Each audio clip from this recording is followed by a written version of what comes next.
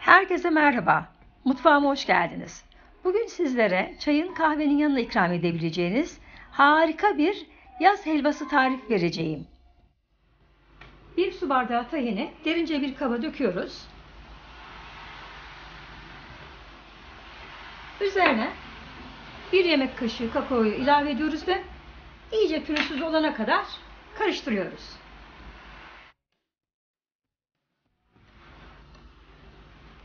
Bu kadar yeterli. Tabanı geniş bir tencere ya da tavaya bir su bardağı toz şeker, yarım çay bardağı suyu alıyoruz. Ocağın altını açıyoruz ve hiç karıştırmadan şekerli suyumuzu eritiyoruz. Kaynamaya başladı. Şimdi orta ateşte 8-10 dakika kabarcıklar yoğunlaşmaya başlayana kadar şerbetimizi kaynatıyoruz.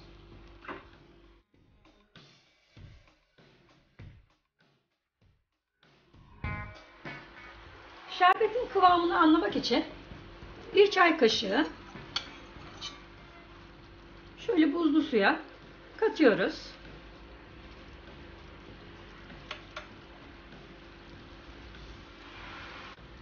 Bakın şöyle elastiki bir şeker olmuş.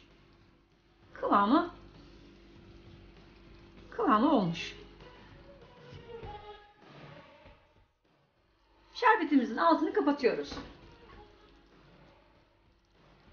Sıcak şerbetimizi yavaş yavaş tahini karışımımıza döküyoruz ve alttan üste doğru hafifçe karıştırıyoruz.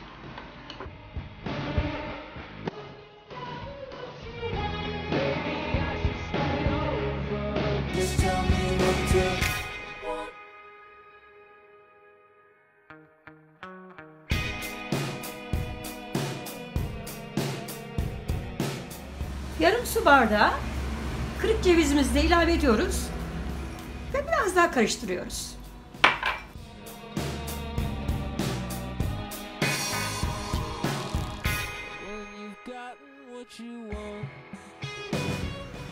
Borcamımıza hafifçe yağ döküyoruz.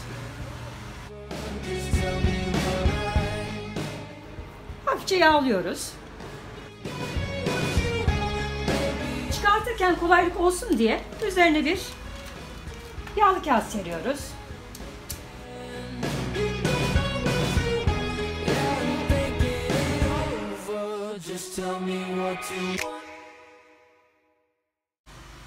Karışımımızı borcama döküyoruz.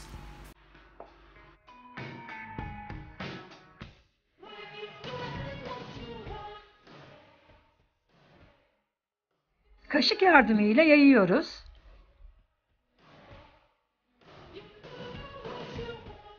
Üzerine de yağlı kağıt koyuyoruz.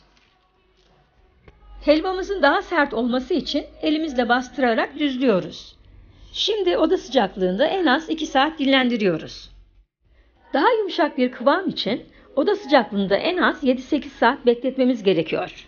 Daha sert bir kıvam istiyorsak o zaman 2 saatin ardından 3-4 saat buzdolabında dinlendiriyoruz. Ben helvayı yaklaşık 3 saat buzdolabında dinlendirdim. Şimdi üzerindeki yağlı kağıdını çıkartıyoruz.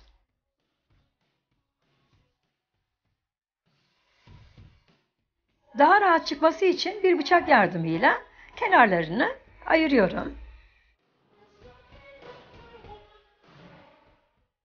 Üzerine bir servis tabağı koyarak ters çeviriyoruz. Diğer yağlı kağıdı da dikkatli bir şekilde çıkartıyoruz. Gördüğünüz gibi kıvamı harika olmuş. Şimdi artık dilimleyebiliriz. Buzdolabında beklediği ve daha sert bir kıvamı olduğu için dilimlerken bazıları çatladı.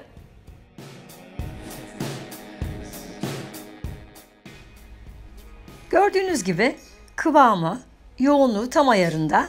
Harika bir yaz helvası oldu. Şimdiden herkese afiyet olsun. Hoşça kalın, sevgiyle kalın.